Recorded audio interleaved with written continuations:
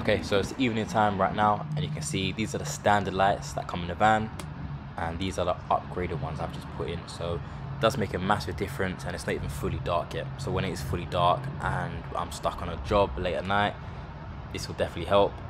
So there's two switches controlling these lights. You've got one at the back of the van here, and you've also got one on the side of the van at the top. So whether I go in from the side or the back of the van, I'll always be able to turn on the lights. So these are the LED strips here. Now mine are just normal white. I think you can get different colors such as green, blue, or ones that even change color of a remote. That's way too fancy for what I need. I just need something to go from here to about there so I can see in the night time better. So the first thing we need to do is remove this plastic trim along the top here because we need to run cables. So in terms of how we're going to remove that, we're just going to use a flathead, pull up this little flat bit, and then these should just pull out.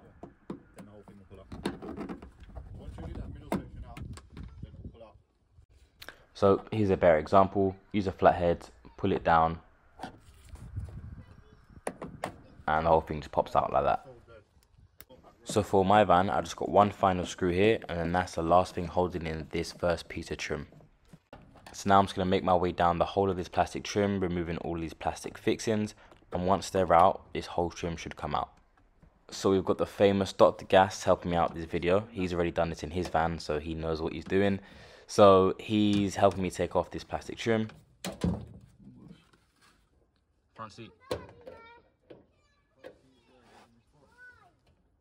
It'll be in a separate box.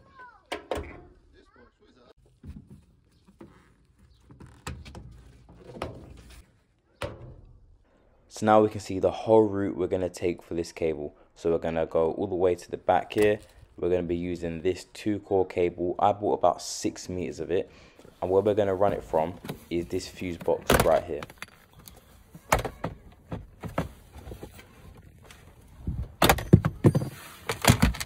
here, that's the fuse box.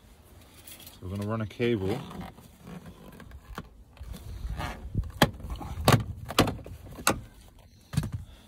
through here, up, through here, here, and then come in here.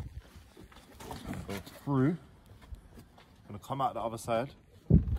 Gonna come. If you look, it's gonna come out above here, and then it's gonna run through this trunking.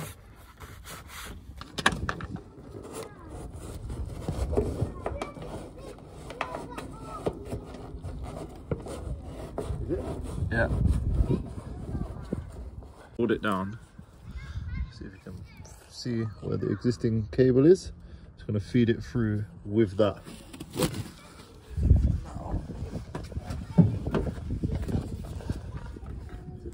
So that's the cable pulled through the back of the van. It's going to take that route with the other cables. And I have pulled it quite long because it's always nice to have more than less.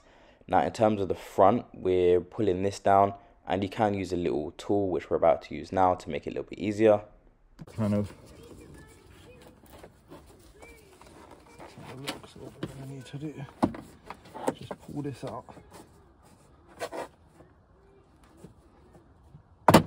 slightly and we should now be able to feed this see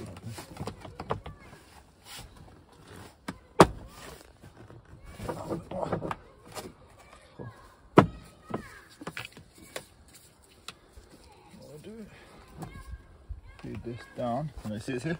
Mm -hmm. So that's the cable fully pulled through here for the fuse box. Now in terms of the cable that runs through the top, I'm just going to slip it in these little clips here. So then when it does go back together, the cable isn't getting pinched by anything. So now that cable is run and put away properly, we can put back this plastic trim. In terms of putting the trim back, really simple. That small hole is going to line up with that plastic peg. Then it's just this plastic thing.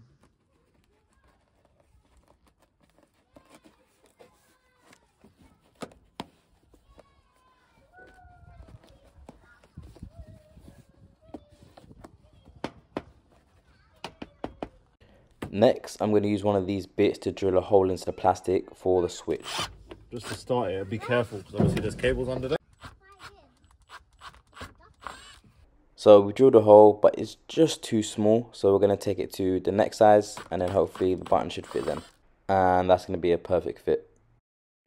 So then we're going to take that cable that we ran from the fuse box and push it through that hole. Then we're going to put another piece of cable in that hole and that's going to get ran to the back of the van. So we're going to drop down here and just about where you want the switch.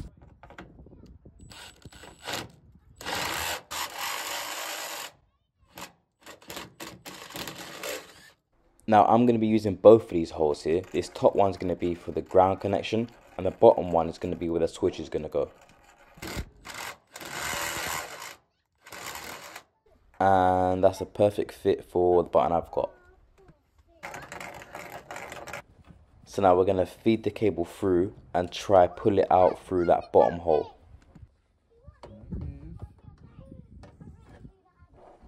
And that's it, it's through.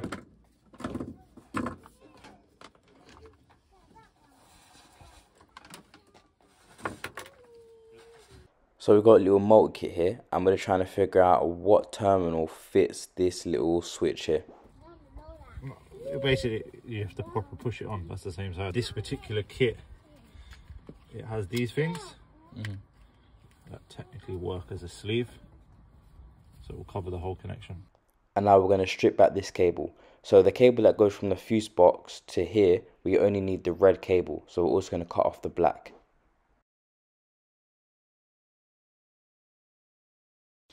Okay, so this is our live cable coming from the fuse box. Now what we're going to do is put this protective sleeving on. Then we're going to get the terminal. And we're going to use our wire cutters to crimp that on. So you'll notice that if you look really closely, we've used these before, there's two things you can crimp. So the first one, which we're crimping now, is actually crimping the cable to make the connection, the actual strands and then the second place you can crimp is to crimp the cable so it doesn't move. I don't know if that makes sense while I'm describing it, but when I show you a close up, you might see it better. So this live cable from the fuse box is going to go into the middle on this on-on switch. Okay, down, then that will slide over. So like I said, from the fuse box, we're only going to use one cable, which is the red cable. Now the cable that goes from this switch to the switch in the back door of the van, we're going to be using both cables. So in terms of how we crimped this terminal one, we're going to do that the same for those two cables. So now in terms of the switch on the side of the van, we're going to put that red cable, the live cable that comes from the fuse box in the middle like I said. And then we're going to get the red cable that runs to the back of the van. That's going to go on terminal 1 and the black cable that goes to the back of the van, that's going to go on terminal 3.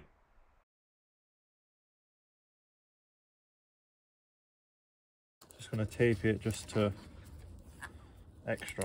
We'll just go in OTT just to make sure nothing comes apart. And then we can shove that switch in its hole.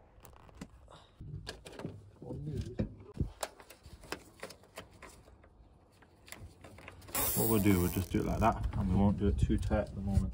Then you can tighten it up after. You've got the, the right size and we can cut it all. So this is the cable that we ran to the back of the van before. Now what we need to do is get another cable and run it up here because that's where we're going to attach the lights. So that's that cable through, exactly the same process. We've fished it through, use long nose pliers to pull it through and that's the second cable. That so that second cable I've split into two now and this black cable is going to go through that top hole and then that's going to be our ground.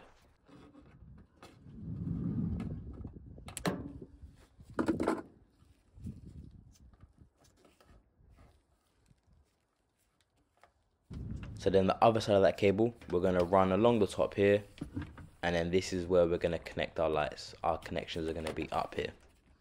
So that same crimping process we done for the terminals on the side of the van, we're going to do here. So I won't show that whole process again because you've already seen it. You can get easier crimps, by the way. You can get ones that literally just slot on and crimp. You ain't got to deal with all the little fiddliness. So it depends on the set you get.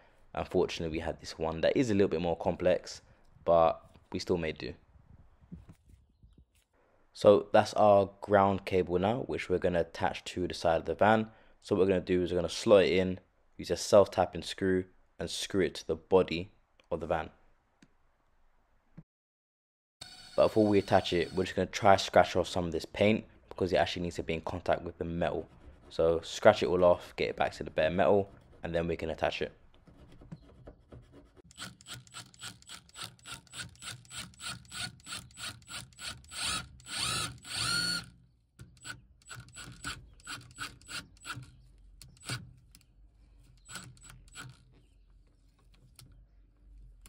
And that's the ground all done.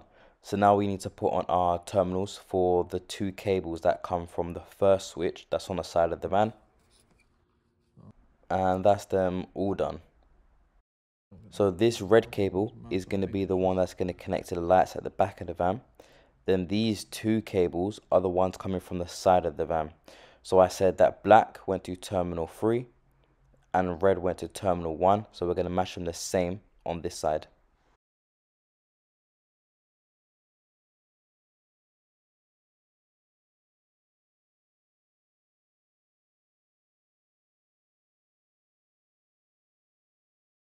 and now we can push this button in its hole.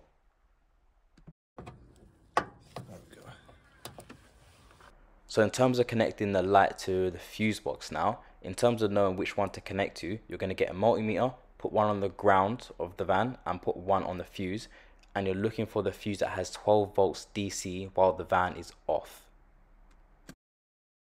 So for example, that fuse we just checked didn't have 12 volts DC with the van off. So when we check the next one, we get, there you go. This one's got 12 volts DC. So that'll be the one that we're going to connect into.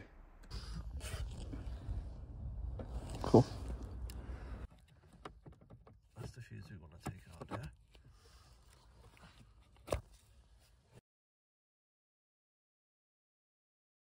So now we know which fuse we're going to connect into. We're going to get our piggyback fuse holder, whatever you want to call it, and connect it to that red cable we ran from the side of the van. Give it a tug, make sure it ain't coming out. Mm -hmm. Is the existing fuse of what you're tapping into, and then this fuse on the outside is the fuse for your circuit.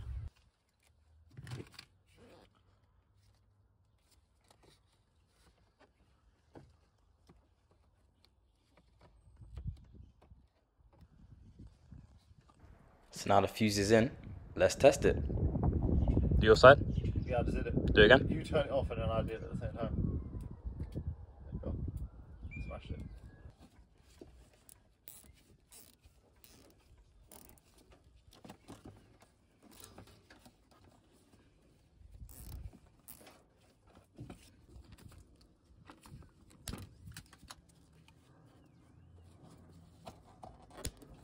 So now all the cables are run and done, I can start adding my lights.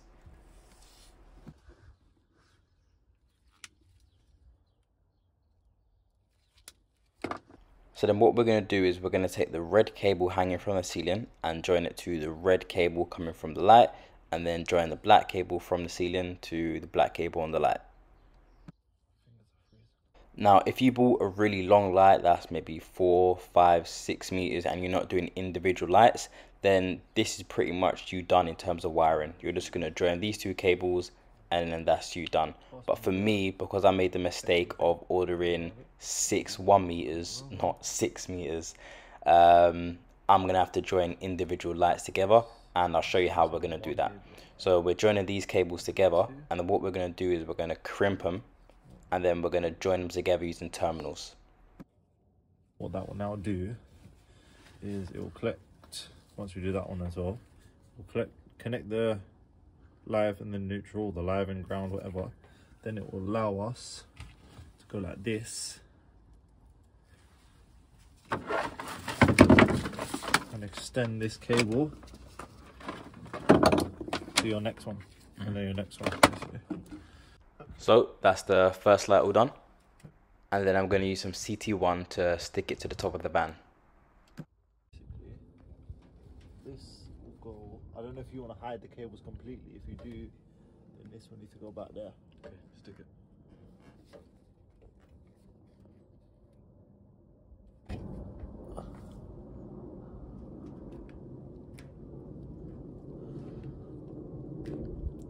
So that's that first light stuck now and you can see we joined it together with the second light using the crimp terminals.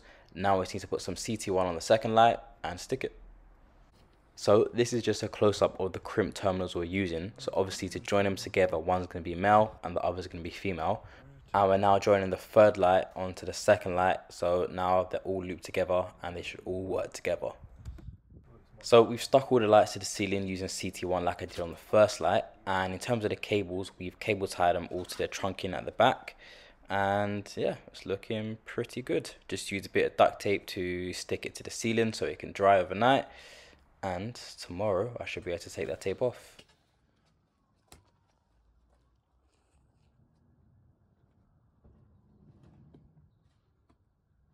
So in terms of putting the plastic trim back, really simple. You can see that there's the holes on the actual frame of the van and then there's holes on the plastic trim. So use those little plug things, push them in and it will stay in place. But you get to see me being weak here, not being able to do it for a second. But I get it on and now you can see, all done.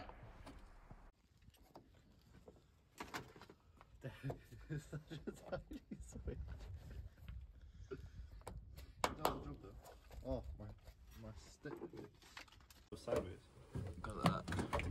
It does, comes around. slide. It does pull across. Yeah. The cable is that he's put.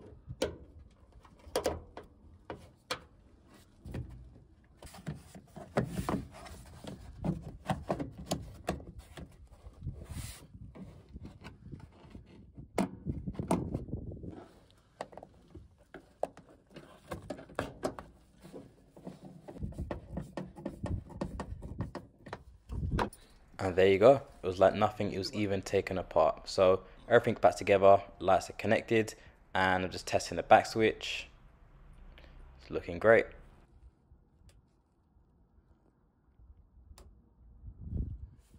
Okay, that's it for this video. I hope you enjoyed. And if you are looking to do something similar to your van, I hope it helped.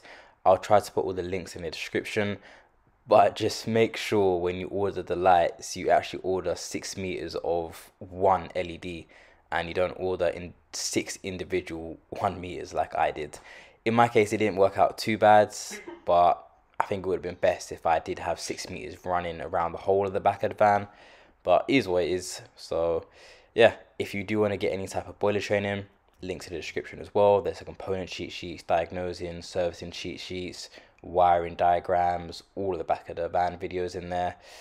So I will see you in the next video.